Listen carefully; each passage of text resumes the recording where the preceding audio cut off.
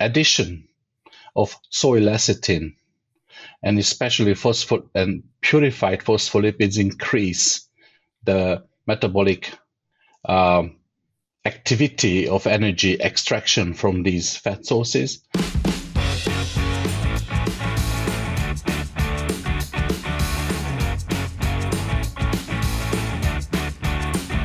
Hello, everyone. My name is Doug Korver. I'm one of the hosts of the Poultry Podcast Show. Welcome to our latest installment.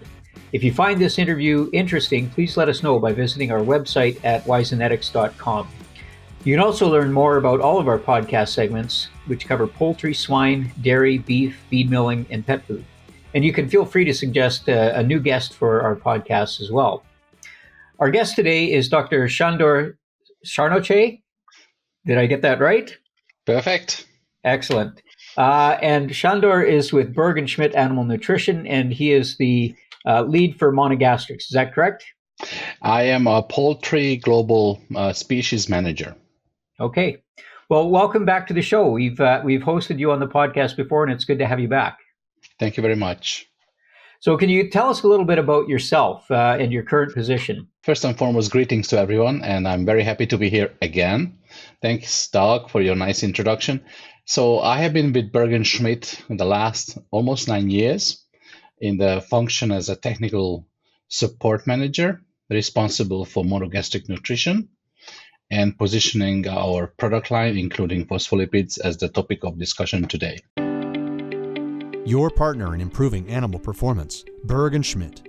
They believe the following additives are necessary in the poultry dietary.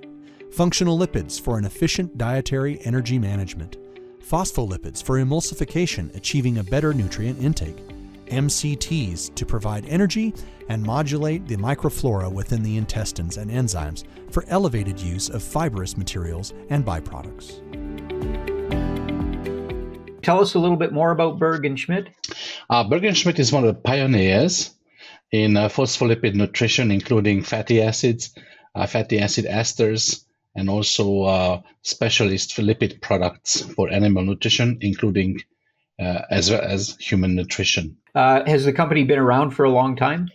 Oh yes, uh, the company has really started off in the early '80s, and uh, the turning point came about 1985 or 1986, where it was establishing uh, a huge tank farm in the Rotterdam port that allowed the transportation of soy lecithin from mainly from South America in large quantities, 500 to 1,000 tons uh, in one shipment. And this tank farm enabled the competitiveness of lecithin products, both for human and animal nutrition production. When you were last on the uh, Poultry Podcast Show, you were in the midst of a move from uh, Singapore to Germany. Um, how has that gone, and how has the change been in terms of your day to day work? Ah, it's wonderful. We have excellent colleagues in both both sides of the, so to speak, uh, in Singapore and, and Germany. They facilitated my move very smoothly. Of course, it's a big change, obviously, in terms of uh, climate and weather. It happened in the summertime, so mm-hmm. gradually grew into the winter at the moment. So we are just waiting for the spring to start and, and the summer to come back again. Otherwise, yeah. it's fantastic. Germany is a fantastic place to be, and our headquarters, of course, is located in Hamburg, mm-hmm. where we have a long history of uh, uh, existing, and the Stern-Wywiol Group has a headquarters for the whole group here. So, about yourself, how did you first get involved in poultry nutrition? Oh, um, I finished my PhD studies in the US in 1997. Then 1998, I started with Cargill as a piglet feed formulator, surprisingly. And uh, during my career in the last 25 years, I have been involved with Adisseo. Hmm. Adisseo in the early, about 20 years ago, and they they taught me poultry nutrition, so for which I'm very grateful. And uh, the French know their business of poultry nutrition really well, and I, that's how I started on the poultry.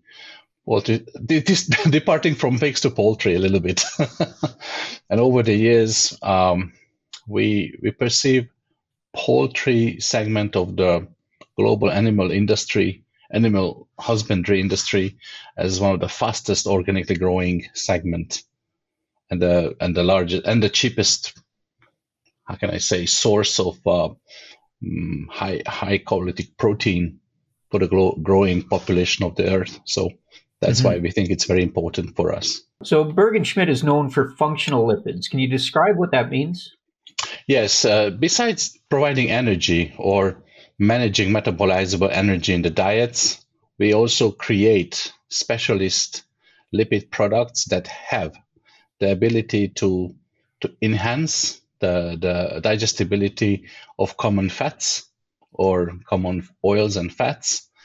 And um, for this reason, we manufacture specialist lipids like phospholipids. We also have functional lipids that are responsible for modulating the gut microbiota. And also, we can control or at least assist uh, in the in the global effort to reduce AGPs. Mm-hmm. So we can control the pathogenic bacterial populations or proliferation of gram positives and gram negatives. And for this reason, we are producing dedicated glycerides, monoglycerides mainly, and free fatty acid based products. Okay.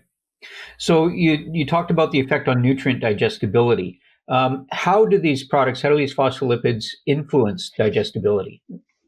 They increase the, the so to speak, the perception of energy content metabolically. In other mm-hmm. words, uh, let's take the example of beef tallow as an example, or or or this is where most of the studies have been done oh, more than 40 years ago, that they indicated that addition of soy lecithin and especially phosphor and purified phospholipids increase the metabolic um, activity of energy extraction from these fat sources because the mm. problem is absorption. And when the animals are young, they don't have the necessary endogenous lipase production enough to be able to extract or absorb the, the right amount of, let's say, beef tallow components that would be necessary to maintain or help the rapid growth what they have to grow through. So when you add these specialist lipids, including phospholipids, we help the emulsification. So in uh, one unit of time, we can extract more energy. Technically, that's how it is.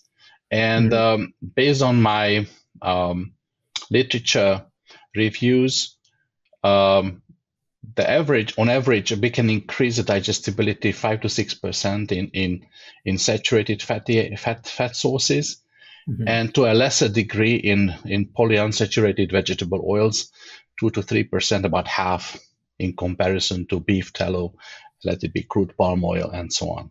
Mm-hmm. So, so it's not simply increasing the energy content of the diet by the value of the the phospholipids. There's a uh, a synergistic effect to increase uh, uh, beyond the average. Exactly, Doug. And you know, uh, you also have to determine what would be the set rate of addition of the phospholipids.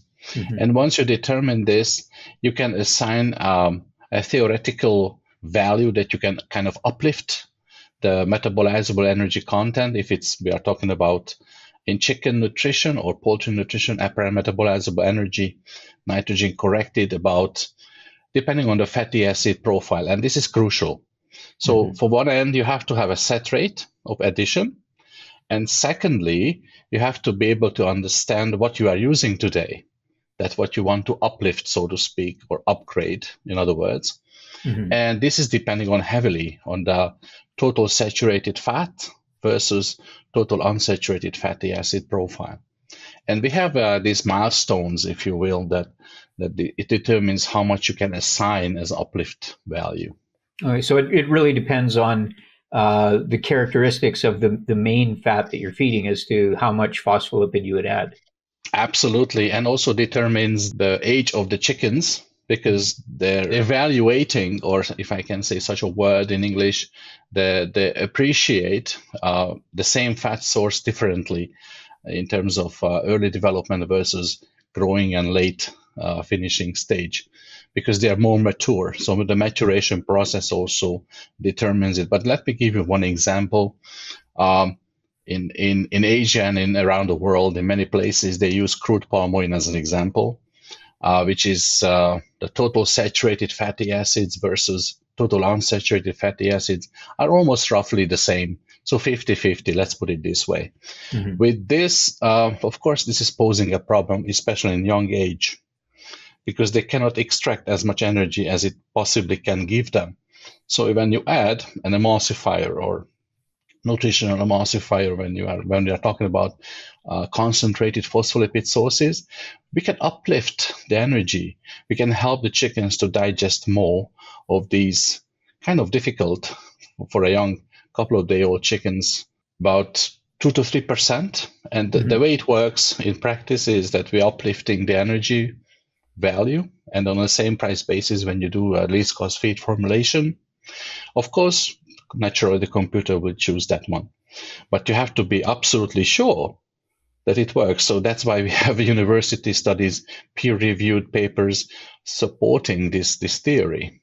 Mm-hmm. And another example could be that the most ubiquitous uh, uh, feed grade or feed energy source is soy oil, which is highly unsaturated.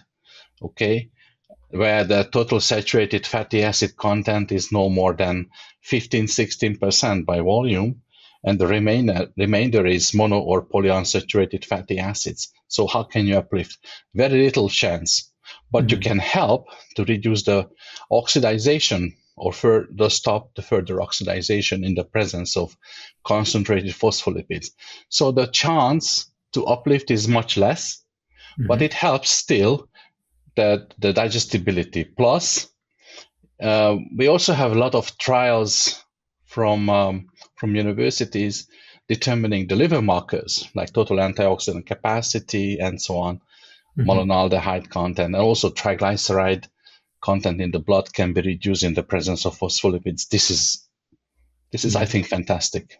Yeah, that, that's really interesting. Do the phospholipids themselves act as uh, antioxidants directly, or is there some other uh, mechanism of action? Well, I believe that first and foremost, they also, uh, depending on their uh, phospholipid fraction, so to speak, because we, we determine four different, at least from the animal nutrition point of view, we like to talk about phosphatidylcholine, which is the most abundant. Then we have a phosphatidylethanol, ethanolamine. We have a phosphatidylinositol and phosphatidic acid. These are the four major, and they serve as a, as a methyl group donor, and that's how they are facilitating indirectly the I mean, improving the oxidative status at gut and enterocyte level and also in the liver markers that we can measure it back. That's mm-hmm. how it works. So we know that, that birds themselves are able to synthesize phospholipids. Uh, so why, what is the opportunity for uh, adding dietary phospholipids uh, in modern poultry production? I think uh, from the practical point of view, um, many times a bit of a neglected the dietary level of choline, pure choline levels, and this is where the, the addition or external addition especially concentrated phospholipids can help, mm-hmm. together with other sources of uh, of choline, of course, not just solely as it is. So I, I talk about complementary effect here. But usually what I observe, at least where I'm active in those markets, that the pure dietary choline levels are low. I'm talking about 1200 milligram or less, mm-hmm. which would be, I think, would be required minimum to be 1500 milligrams per kilo because these are the modern breeds of poultry, meat type of, of chicken, as an example. They have an extremely rapid growth. And we know from physiology that uh, they not only re- require just energy, but also to be able to ble- build the blood vessels so they, they can build bones, they can build the muscles, they can build build all the tissues technically and this is ex- extremely dependent on on having a, a good level of choline present. Mm-hmm. And uh, among other nutrients, of course. But we see the a tremendous positive improvement when you increase the dietary choline level from 1200 to 1500 or above in in the rate of chicken growth or also and also overall health status because then you improve also the blood markers or some the liver markers and then technically the the the biggest challenge what I face is to remind our our clients and, and practitioners that besides that we understand fantastic in my opinion how to make the bones grow. We understand fantastically in the broiler chickens how to make happen the breast meat yield and also the thighs and so on. Nobody or rarely we're talking about developing the nervous system and this is where the phospholipids come in hand. And that's when we have a sub uh, sub adequate levels dietary levels externally i'm talking about. Uh, this is helping to replenish or maintain the necessary levels to develop those tissues. And you also mentioned, Doug, that yes, the phospholipids are so important, in my opinion, physiologically, that most vertebrates try to recycle and, and produce their own, right? And mm-hmm. uh, but it's not uh, never 100% efficient. Unfortunately, there are losses. So external supplementation helps a lot, especially in the rapid growing chickens and also layers. Imagine the uh, today, I think a, a, modern layer flock is capable of living up to 110 weeks or be, even beyond. We're talking about mm-hmm. right, but the sad reality in practice, what I've seen at least, that we have to call most of them out before they reach 90. Why is that? Because during the peak laying period, they are so attuned, so selected to to to make an egg in every 25, 26 hours. So they leach out their own phospholipid reserves. And if we don't do not supply, we cannot realize fully their genetic potential. So that's that's that's the reason uh, and consideration for practical nutrition is to consider adding next to choline chloride or whatnot, uh, mm-hmm. methionine. The phospholipids are very important in this respect because they're also active part of the of the of the bile, which mm-hmm. in the early stages of development is not enough, unfortunately. Right. So, so there's a, an effect at the level of the gut in terms of availability of nutrients and formation of micelles and fat digestion. Um, are the phospholipids absorbed intact from the gut as well? Now, this is a very interesting question because in the past we thought that uh, first and foremost they're also prone to be cleaved by by the lipase enzymatic activity, obviously. And the past, in the past, we thought that because depending on the phospholipids, where they are originating from, we also have to make a distinction. Most of the phospholipids today in animal nutrition are coming from soy, but we also have sources from uh, canola and also sunflower. They have a different uh, fatty acid profiles a little bit, mm-hmm. plus a different uh, phosphate, uh, phospholipid fractions, but the, the scenario to your question is the same. So they get either cleaved or can be absorbed, but it's a much lesser process. And we are talking about the differentiation between uh, active and passive transportation. Now, in the past, we thought that the large fatty acids, when they are cleaved by the lipases, they are passively transported. That's not true. They have to have a dedicated mechanism. I'm talking about large fatty acids, C, C14 and, and, and beyond, C16, C18, and so on. They need to have a dedicated transportation mechanism. However, when you have a medium chain fatty acids attached to the glycerol, as an example, they can be absorbed passively as well. But mm. of, of course, we know that in the passive transportation, we also have differentiation depending on what is the mediating. Either it's a free or or mediated by certain uh, how's, how's it called channels and also mm-hmm. dedicated routes. Yeah. So back to your question, uh, in some aspects, uh, uh intact phospholipid molecule is, I think, huge. If you look mm-hmm. at the molar molar weight of those uh, uh, phospholipid fractions, they're, they're, they're enormous molecules. So they cannot be, rarely can be, in my opinion, absorbed. They have to be cleaved, but mm-hmm. they help in the process of emulsion in the gut uh, lumen, and that's that's one of their forte, in my opinion. Plus, they provide additional nutrition, and I like to stress it out because if you measure analytically uh, one kilo of pure or de-oiled phospholipid or concentrated phospholipid source, you can technically measure the pure choline and also pure bioavailable phosphorus content of the product. Hmm. And this is where also comes, even if you don't believe the the, the uplift uh, fact or uh, uplift feature of energy, but you can still measure those nutrients.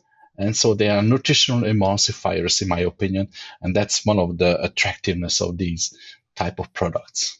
Mm-hmm. Did I answer your question? I hope. Yes, so. yes, you did. I'd like to remind our audience that if you find this or any of our previous topics worthwhile and informative, please subscribe to the Poultry Podcast Show YouTube channel. Uh, you can do this by clicking on the bell icon to receive our notifications. And you can also share uh, the video if you learned something new today. So, Sandor, when we're talking about uh, optimizing the level of phospholipid supplementation, you said it uh, depends on the age of the bird, it depends on the level of fat, it depends on the type of fat, the fatty acid mm-hmm. profile. So, what would a, a, typical level of supplementation be in a, a broiler starter diet? Okay. Um, we have uh, evidence over the last two, two and a half decades that usually the trick comes between 500 to 1000 grams per ton, metric ton of feed. So uh, because in broiler chickens, we want to have daily gain, obviously, and voluntary feed intake good.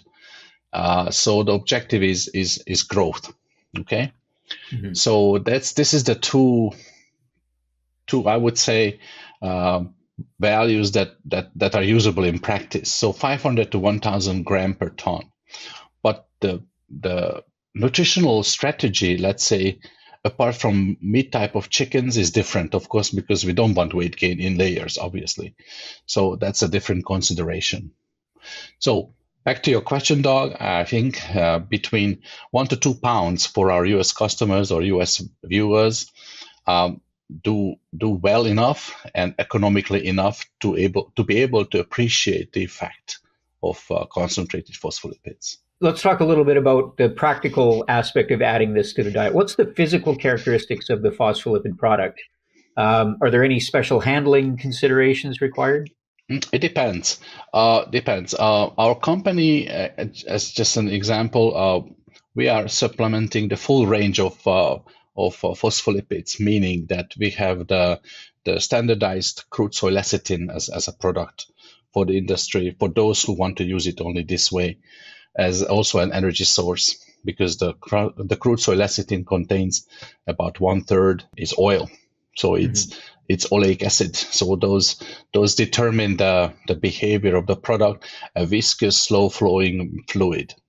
When once you remove those lipids, what you what you change the physical behavior of the product so what what it means you reduce the 30 35% oil content let's say to 2% as an example and the product becomes powderish. Mm-hmm. And then you have to purify it up to the uh, to a level of acetone insoluble content, total acetone insoluble content, minimum to 95% of the whole product. And if you increase it to 96%, it becomes a wonderful powder.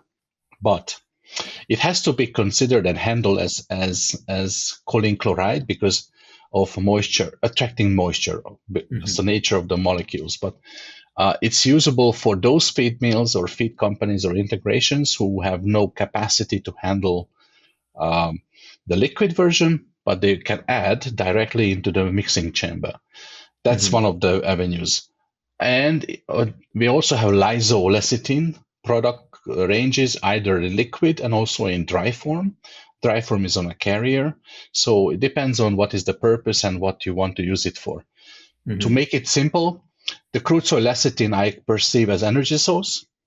The concentrated de-oiled phospholipid sources are nutritional emulsifying agents together with other uh, mm-hmm. such products that provide very pure choline and also uh, highly available phosphorus.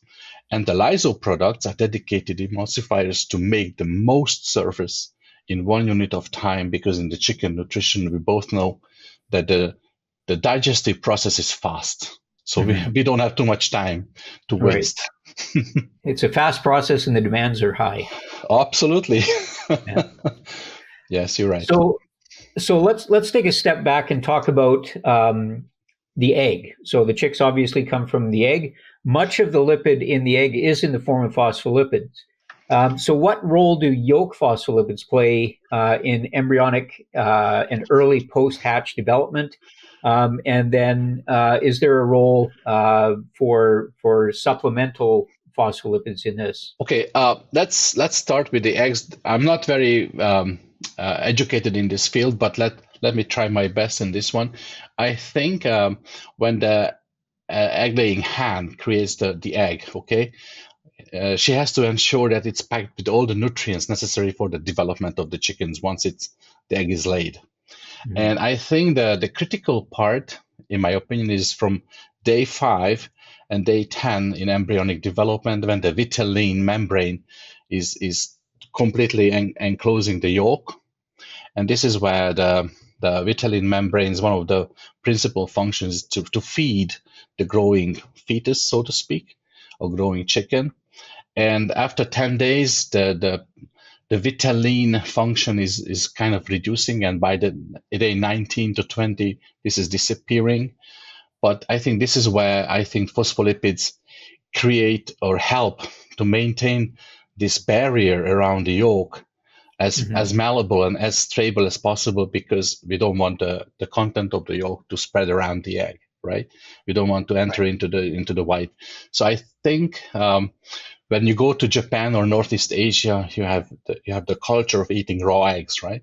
So technically, they always test the nutritional, how can I say, value of the egg, the raw egg, to be able to pick up the yolk, and this mm. is where we can help, either in if we are going for the uh, hatching eggs or table eggs, we can mm-hmm. supplement those those breeders or commercial egg layers with the external uh, phospholipid source to ensure that this is this is properly forming around the yolk. And I think the preserving the yolk is crucial. At least this is the one of my memories comes up from from from. But I'm not an expert in this one. But please correct me wrong, Doug. yeah, no, that, that's that's a, a, good answer. So thanks for that. Thank what you. about uh, what about the meat? So we grow broilers obviously for the meat. Um, does phospholipid supplementation have an influence on on the meat quality or, or the meat composition? This is a very interesting and good question, Doc, because uh, phospholipids also delivering poly and mono and polyunsaturated fatty acids. Okay, and we also know that in cases depending on the source where they are from, uh, and also the fatty acid profile can also have some palmitic acid as well. And uh, we know from our trials done over a decade ago that uh, a certain ratio of palmitic acid plus a certain ratio of total unsaturated and total polyunsaturated fatty acid ratios, which is the one of our one of our uh, kind of um, know-how in our company that uh, helps to to increase the or reduce, in other words, the drip loss, okay, mm-hmm. of poultry meat. Plus, uh, many times we have the challenge uh, of uh, breast meat, the breast meat quality as an example, and a bit of uh, attention to the palmitic acid content of the diet can help to enlarge those fat deposition globule, so to speak, in, in, into the into the broiler broiler breast that mm-hmm. increases the succulency and also not to not to be too dry when you are cooking or frying right. the, the, the chickens but um, so in other words i think but you also have to know that uh, most of the fat deposition that we can influence it, in my understanding in chickens is the subcutaneous fat which is which is a very significant uh, deposition area if in a, on a healthy chicken. And this is where uh, addition of a bit of uh, palmitic acid as, as saturated fatty acid can help to increase the crispiness when you are frying the, the okay. chicken. So yes, you can. In fact, um, we are talking more about red meat, and the red meat composition is de- is dependent on the fatty acid profile. Even though in, in grain and cereal based diet, we know that uh, the liponeogenesis is, is of course uh, is important, but not to a certain level and degree. So we have to have an attention as well on again on the dietary fatty acid profile of the diet, and this is where our our our solutions come handy. So right. we can influence the breast meat and also we can influence the the red meat sections of the chickens to be more succulent, to be more mm. enjoyable. So earlier uh, in our conversation, we were talking about um, the role of lipids, perhaps in being part of um, the strategy to replace antibiotic growth promoters. Can you talk a little bit more about that? How how do fatty acids uh, uh, play a role, or could play a role? Okay, uh, we, we are entering into the realm of uh, medium chain fatty acids and their respective derivatives or esterified versions.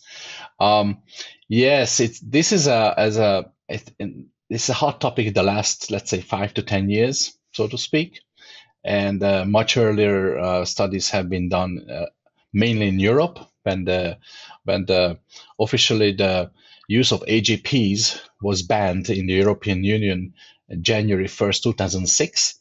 So a lot of universal, a lot of work was done in the preceding years to this date, and we that's when actually they found out that the from C6 to C12, I'm talking about these these are the specialist medium chain fatty acids and especially the monoglycerides are extremely potent to modulate the gut microbiota enough that the beneficial ones, the lactic acid producing strains, can overpopulate.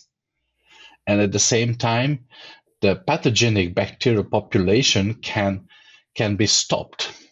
Mm-hmm. The objective is not to kill, in my opinion, because to have a, a killing uh, a concentration is not economical these days. But if we are good enough to stop, what I mean is if we can reduce the colony forming those colonies by two log scale, as an example, is good enough for the mm-hmm. beneficial ones to overpopulate those spaces. And I think this is what one of the effect what we are using. Plus, if you look at in an example, and which is our, one of our flagship uh, approaches or solutions, is the uh, monolauric monolaurin.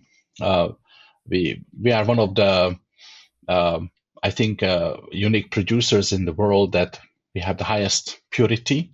We have we are guaranteeing more than 90% content purity, and within it also 90% plus alpha monolaurin. And this is crucial because the position where you know the lauric acid is located on the glycerol backbone is is mm-hmm. crucial to to affect to affect the pathogenic back the gram positives primarily.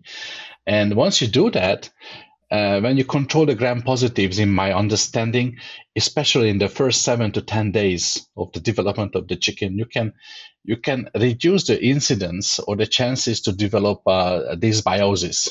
Okay, and when the gram negatives absolutely invade everything.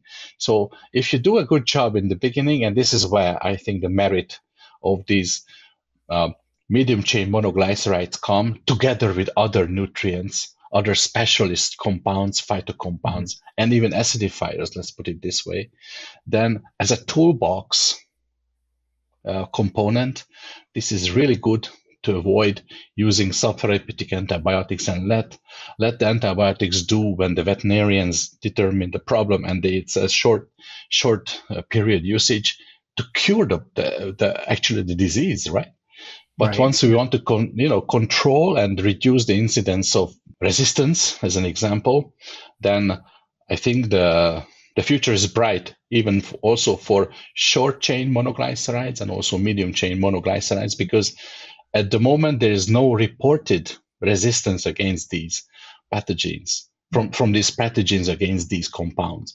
So that's why they are becoming more and more important.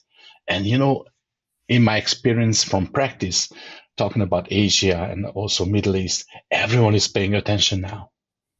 So this is this is that's why we we we believe that this is this is going to be even further revolutionizing the reduction of AGPs, and we have to find new solutions. And there are so many good ones. And the good thing is the lipid products work very well in synergy with others.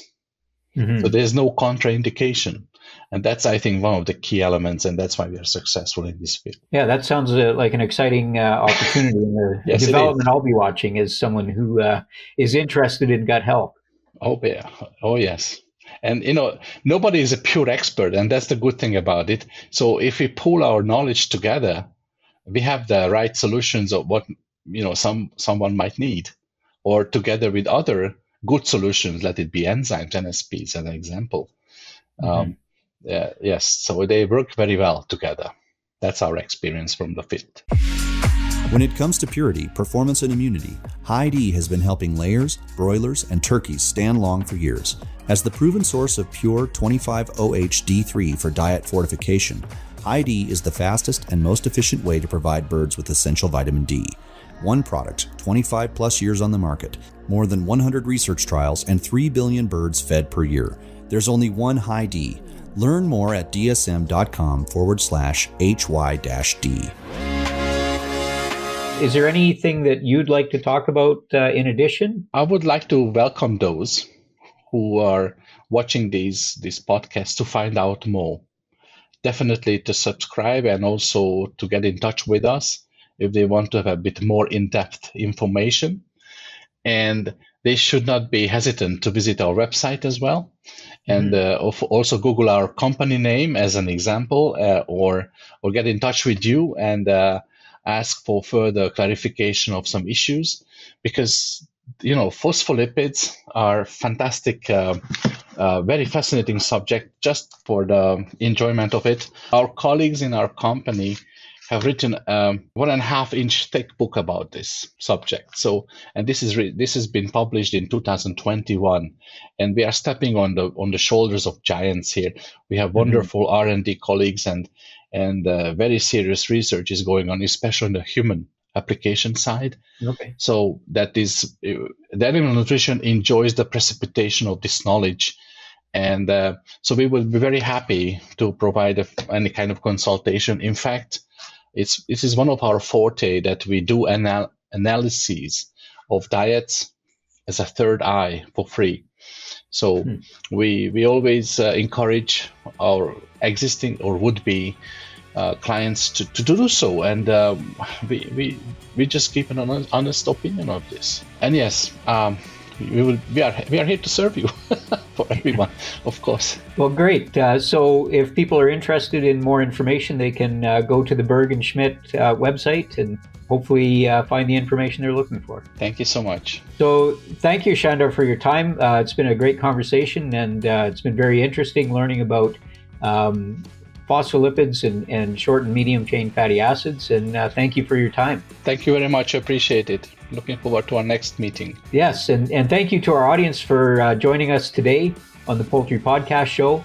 If you enjoyed this podcast, please give us a thumbs up on whatever platform you're using to view it and uh, we'll see you next time. I'm Doug Korver for the Poultry Podcast Show.